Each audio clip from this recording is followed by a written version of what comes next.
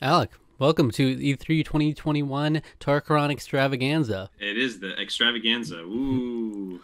Woo. We just covered Ubisoft and we're coming off of that high. Yeah, we we're gonna Oh, it's a, it's a real high. All right. Yeah.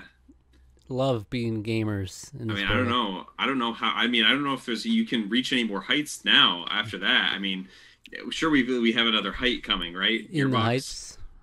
That, movie's out. The movie's right. yeah. I'm gonna go see it this weekend. I See think it soon. Yeah. Gearbox is here. Uh, Gearbox really is n- for one thing for me is what Gearbox means to me is Borderlands. So, Yeah. Borderlands is about it. Um, for but me I, I am well. a I am a huge Borderlands fan though. So I'm not I'm not huge on Borderlands personally. Um, I like I like the concept. I played some of the first one back in the day. Um, and I played a little bit of two, and I've liked it. I, I've genuinely enjoyed my time with Borderlands. I've just never like really been able to sit down and like really get into it. Um, but it's fun. They're fun games. I, I enjoy them for what they are. we still haven't gotten to play Borderlands three yet, but my brother and I have played through all of them before Mm. that one. And I love um, Claptrap. I'm a big Claptrap fan. I think he's Yeah. great. I think it's like the some of the best that co-op can offer. Like, it's so Hmm. unique and like it's a first-person shooter, RPG elements, but it's also like an open world that you can all be in together. So the quintessential cool. looter shooter. hmm Randomly generating guns. it's a very lot of cool. fun. Yeah. So this uh, Gearbox, what do we have from Gearbox here? Well, I just want to ask you a question. Do you think Randy Pitchford? Do you think he like? Do you think he like bathes in in the Borderlands money? Do you think like he, when he when he was done all of his live stuff, he just like? Do you think the thing filming it was just his pile of money? Like, Mhm. like that he just kind of had like a giant like, hey, hey, I'm making be making a lot of money from this through the whole time. It was kind of like. It was weird. it was very weird. It was bizarre. in terms of the the Um, Borderlands movie, Yeah. So Yeah. that was yeah. So that was a significant part of this. Um, we honestly, I didn't think it was as bad as what Ubisoft did. I mean, in in some ways it wasn't as bad because like Ubisoft was like, hey, check out these things that no one I've never basically heard of except for last E3, and I may have seen like ads for it on like Hulu or something or Apple TV or whatever. Um, this I had like when I first heard that there was going to be a Borderlands movie, I was just like, why Mm-hmm. exactly? Um, I know that the second game has a pretty beloved character, and his the character story, Ja- uh, Handsome Jack, very beloved. Um, but this, I don't, as far as I know, this isn't going to have anything to do with any of that. yeah, I It's don't know. About Maybe Atlas, Is, is it it about was the not f- even I don't know. Is it about the first movie? Maybe the first game. The first, first game. game I is mean, Well, it's it seems to be taking place like maybe before or during or something because like uh, they t- they talked even during all of their little intercuts with this thing about Atlas, who's like I guess a character that is never really shown up in any of the games. Hmm. It's just kind of like a some sort of figurehead of a company. I don't even really I don't know all that much about Borderlands, so I don't know. But but yeah, it was weird. It was a weird Well- like behind the scenes thing, kind of like because it's still very secretive. It's very secretive. which is still very secretive. Yeah. And Kevin Hart plays Roland in it, which is a Yeah. a fairly serious character within the realm of Mm. Borderlands. So that's why it's like, oh, how's Kevin Hart going to do this character? So it's uh, Cate Cate Blanchett also as Lilith, right? mhm. Which is weird to me because like Lilith seems like she's a fairly young woman, and Cate Blanchett is like in her fifties.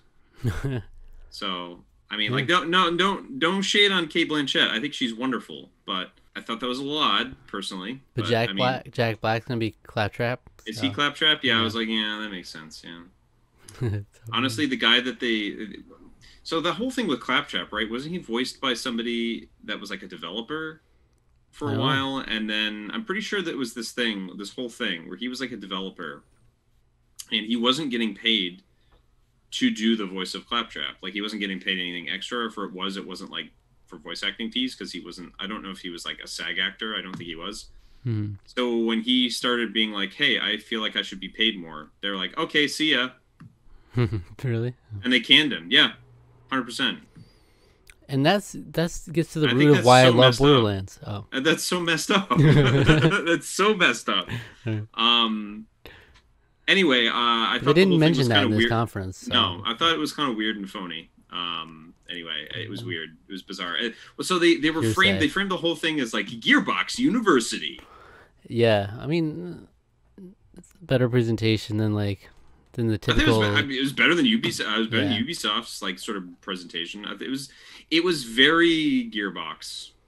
It was very like that humor. It was very Borderlands humor. Mhm. Um, And I mean, Yeah. the, as far as the movie goes, uh, I hope it's a good movie, and and it's it's Yeah, honestly, promising same. in the sense that they say, "Oh, we want to make a good sci-fi movie, not just a good video game adaptation movie." So at least the I feel like that's a good mindset to have. But again, this just felt like a weird place to pit. Like I get it, Borderlands is very integral to them, to their brand. mhm. Just felt like a really weird place to have it. You know. well, they didn't have that much else to show, so they had to. no, they didn't. They had almost there, nothing yeah. else. But they did have Tiny Tina's Wonderlands, which is a it's gonna be like a spin-off from Borderlands.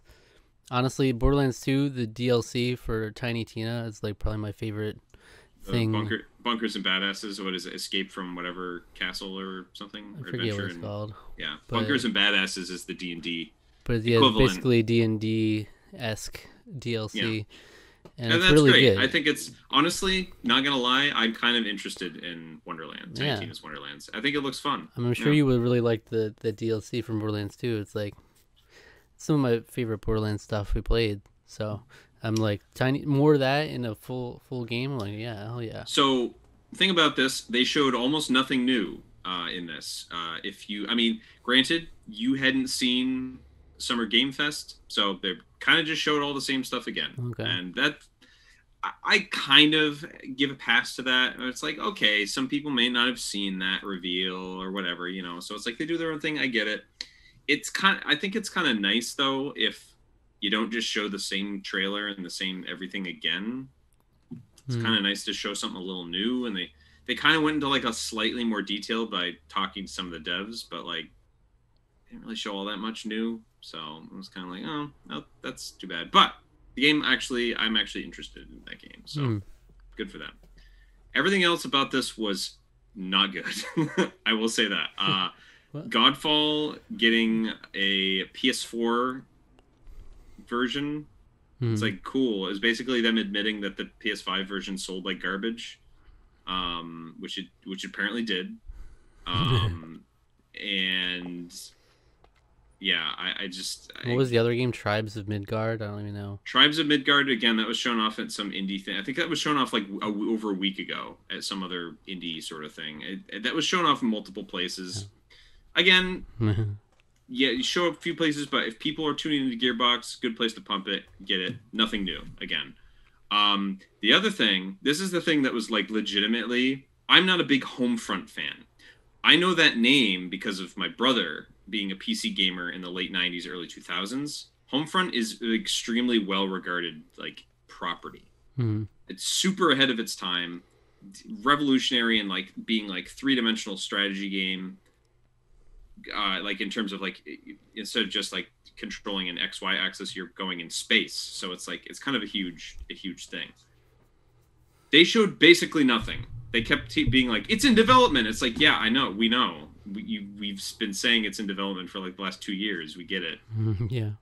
you you could have made all of these little announcements on your Twitter, and it would have made more impact. So it was like them them pumping it like in the in in the like press releases. Ooh, Homefront Two is going to show up, and it's like Homefront Two didn't show up. You said nothing about Homefront Two other than like everything everyone already knew about it, and like showed a couple of screenshots, showing screenshots. It was just like that was terrible. Um, and I didn't think that was fair to people who were waiting for that they shouldn't have even had it at all. They honestly they shouldn't have they shouldn't have even had it. Um I even try. why even try? So in a sense, this one was even more insulting than the in, in the Ubisoft one because at least the Ubisoft one showed things. hmm So and and I think that's it. Isn't that it? That's it. So uh, forgot, we forgot to do this on the first video. I meant Yeah. to do the game of the show of each. Oh, game of the show. Well, game of the show for the first for For Ubisoft, was Ubisoft? Mario and Rabbids. Mario and Rabbids easily for me. For me, I was like Far Cry Six. Yeah, eh, it looks Um, okay, but I, it's it not my series. It Really. doesn't look great. See, I feel like we still haven't figured out facial recognition stuff. It's like it still doesn't look good. All right. Uh, Giancarlo Esposito still looks pretty looks pretty good. His likeness in that is not bad. I don't yeah, think it's not right. it's not perfect. Remember when LA Noire was our thing? I lo- I love the meme videos of like LA Noire uses you have to check out the specific facial recognition, and it's like I'm trying to do the X to doubt face. do these weird faces. yeah, It's really funny, but I still feel like we're not there yet. yeah. It's a little um, weird to look at. Of this, it was. Anyway. I mean, of this one, it was Tiny Tina's Tiny Wonderlands. Tina's Wonderlands. Yeah, Easily, yeah. I mean, I am actually interested in that game. So, that's already like more interesting than all the Ubisoft ones for me. But yeah. that's just my own personal thing. Um, So what, grade, what would you? What, yeah, grades. What would you give it? You start this time. A D. Yeah, I was gonna give it a D plus. I would say. Oh yeah, I forgot D pluses are things. So I'll give it a D Yeah. plus also because Yeah, I would have given it a C minus just because I'm so. I love the, the idea of that game so much, but I, I, there really I, isn't anything here.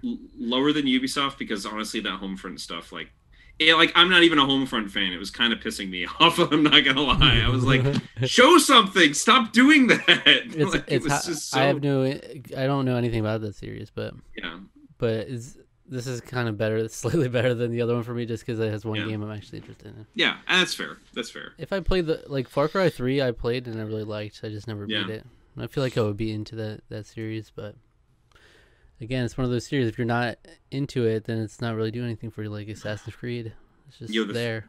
All I know is that the fish catching animation in, in Far Cry Five made me lol Okay. because it was like it was this weird like. where like So it's Tarqaron grade of D plus yeah, for there you go. Gearbox. Thanks for showing Even up, t- ties you ties Ubisoft, I guess. Yeah, thanks for doing that. thanks for thanks for showing up. That's what I have to say to a lot of the people this year. thanks for showing up. Well, there's gonna be one that I, at Sony least one. Sony gets an F. So Sony, I mean, Sony, yeah. thanks for showing up, guys. Sony, Really honestly, tried. ah, man, I can't wait till the day where they they come back, but they probably never will. This Yeah, point, what are they just better? Like they're too good for E3 now. Like what's good? yeah, it's like, well, here's the thing. Do you do you remember what the last conference they had was? It was amazing. It was the intimate, like The Last of Us, and they had the little. Yeah, they had like a there was like venue. there were like the four things. They had the the Last of Us one, and they had like the uh, Ghost of Tsushima one, where it was like the guy playing the f- the, the flute and everything. Spider Man. Yeah, it was amazing, and they they were ushering all the crowd to these different locations. Like, kind of pretentious, but like cool idea. I think it worked really. I, everyone who went said it was really cool. It was a Mm. neat neat idea that they did. So, yeah. Yeah, I mean, that, and I feel like that would work for them. Mm. The, the next conference we get into is like the opposite, where there's just like so much. They just throw so much at you, but Oh yeah. it's uh, Sony like when like here are ones we have a lot of faith in, and I mean, Yeah. From all accounts, they they all seem to All have of- been really good games. So all of those games were smash multi-million dollar successes so, or multi-million dollar multi-million sales they made much more than millions of dollars they made like tens if not hundreds of millions of dollars on those games so, So if you got it, you flaunt it. Yeah. But Sony doesn't got it this year. They don't got Yeah. it. That's all I. That's all I see. I just see weakness Yeah. when you don't show up. Yeah. well honestly i mean the fact that okay godfall freaking ps4 we're we're bringing it to ps4 and it's like cool you bring it to a, a console an old console that's supposed to make me excited Start And they bringing were like, things with- to Wii U. free ps5 up upgrade i'm like I, I mean, I guess it's like so when you get a PS5, then you can update it and crossplay will be available. And it's just like you're literally just. But take your time on getting a PS5. Take You're your time. just yeah. no rush. Well, There's not much there. This is me who owns like five PS5 games. Yeah. I don't own a PS5, so that's Well, all I'll say on the subject. All right. All right. Thank you for Well- watching. What? Okay. What? What video should the viewers watch next? Uh, go go watch our uh, review of uh, uh, extremely wicked, shockingly evil, and vile. Go check Hmm. it out. Yeah. You probably, if you liked this conference, you probably like that. You like the you wicked. probably yeah you would you'd like it You're into the vile things. yeah get used to the jankier setup back then too of mine because i was still living at my parents house so Right. yay Anyway, go Yeah. watch that. Thank you for watching. Subscribe to the channel, subscribe to our podcast feed, like the video, leave a comment, hit the notification bell, follow us on Twitter, like us on Instagram, and uh, follow us on Instagram and like us on Facebook. Tarqaron T W O. You can like us on Instagram too. Like our yeah, posts. like our posts. Yeah, put a little heart next to it. Share it on your stories.